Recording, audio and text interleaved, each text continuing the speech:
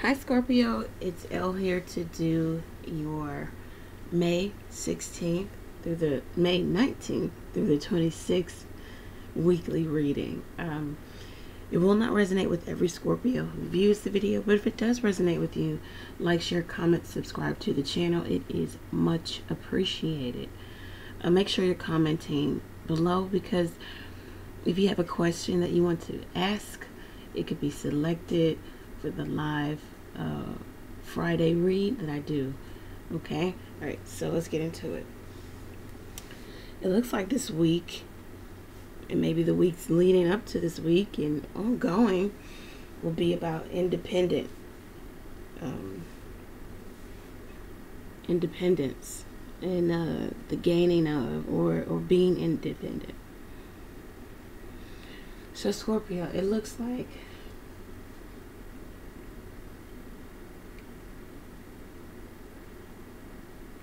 there might be separation from from a fire sign, Aries, Sagittarius, Leo. Um, you're completely transforming. You look back on this relationship um, only because you've you've been in it for so long. You look back on it and you think about what you're losing, or what will be lost, or you just kind of evaluate it. But at the same time, you know that it was toxic or codependent, or there was a, yeah, it, or there was addiction here or obsession. It was just very low vibrational, very negative. Um, right now, presently, the, the past is kind of relinquishing its hold on you so you can move to the future.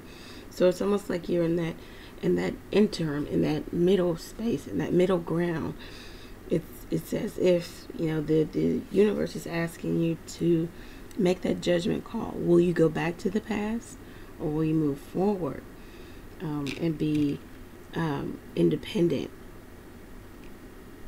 Nine of Earth.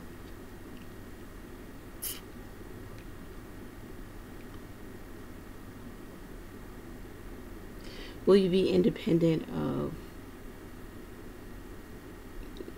you know, a person's judgment of their treatment towards you in regards to will you just be completely uh, dependent on yourself, self assured, confident, um, the woman or the man in waiting?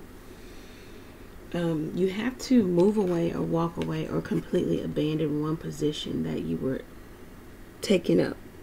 Eight of water. Um,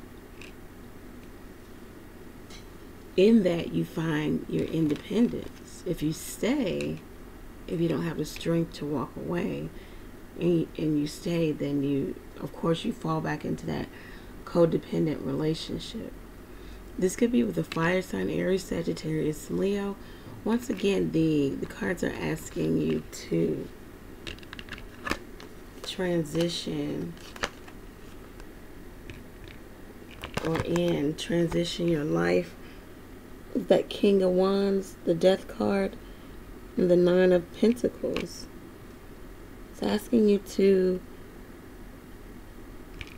The Death card could talk about the loss of something valuable. This could be, of course, life. It could be a job. It could be career. It could be home. It could be marriage.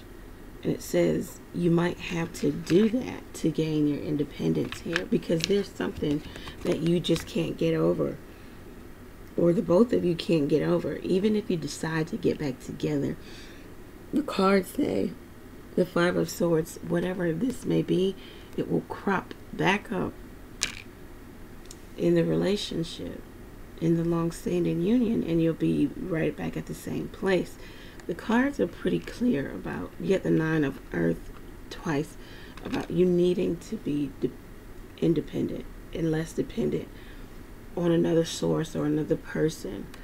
Uh, you can also you cannot worry about someone else's um, codependent nature or addictive nature or addiction. If they have one you have to you have to um, Eight of Pentacles, be concerned about yourself and work on yourself. because you have your own issues. Okay. Um, this is pretty much self-explanatory and pretty straight to the point. If this is in career, this says that whatever the issues are in your, you know, your job, your career, your corporation, or with a, an organized unit, there there are problems. There will always be problems. You may be evaluating where you are, and saying I could be much further. This is not yielding me um, such a great return.